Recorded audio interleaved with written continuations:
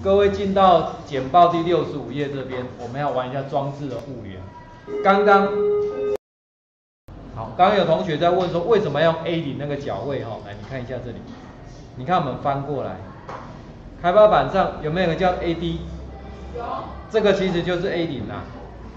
也就是说，其实我们光明电阻，它有用到角位是跟这个共用。我们有没有讲过三色 LDD 有跟我们这个有毛毛虫的是不是有共用？好，所以这个为什么它是这一个？是因为它跟它这个 AD 共用。那 ADD 长得很像零嘛？对。所以他就把这个设成 A 零这样，这样了解哈？啊，因为已经烧录在上面，你就不能改嘛。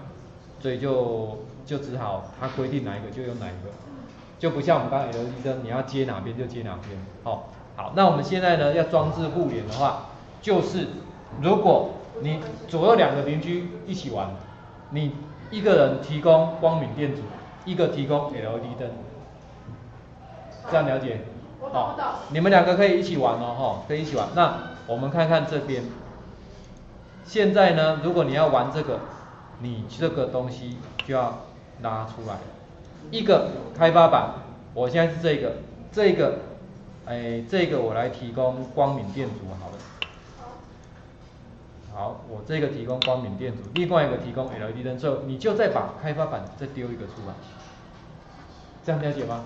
所以你有几个都没有关系，好，你可以一起玩。那我另外一个我用马克一号这一个，我用这一颗。那我提供 LED 灯，我是这个我在十，这样。好，当这两个要一起玩的时候，你要勾什么？串联。对，你们在以前学那个电池啊，有没有学过并联跟串联？有。有。一个坏全部坏。来，并联跟串联差别在哪里？并联是比较。我们现在的发电。是不是都是用并联的？比如说，哎，那个台中火力发电厂要税修，他就把它先拨开嘛。对。等到好了，是在并联。对。如果用串联，你应该知道会很惨嘛。就一个坏。对，串联的话，是不是中间一个断掉，就全部都断掉？对。好，那我们这个也一样道理哦。如果你串联比较多装置，只要其中一个没有连接起来，他就说你的线路不通。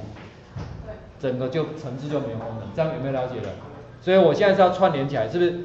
你通了，你 OK 了，我也 OK 了，是不是就连在一起了？连在一起之后，开发板再找一个当串联完成。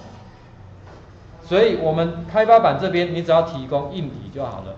真正层次的执行是在下面这里，就是把它放到这里面来的，串联完成才来执行。这样有没有了解那个意思了？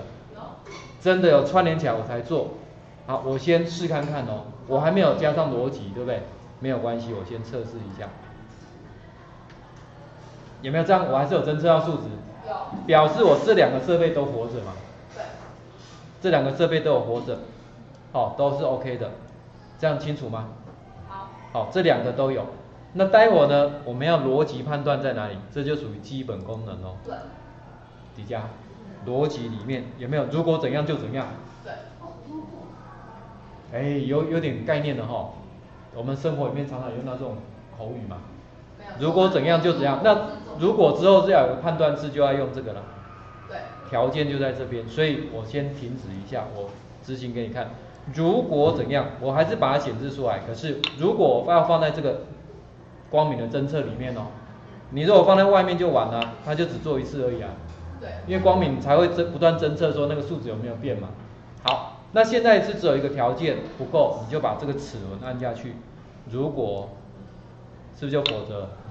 啊，如果我的光敏大于多少？我，哎，是大于多少才要点灯吗？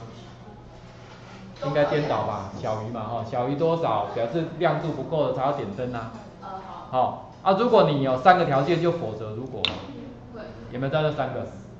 好，记得你这个齿轮按下去是丢到这边哦。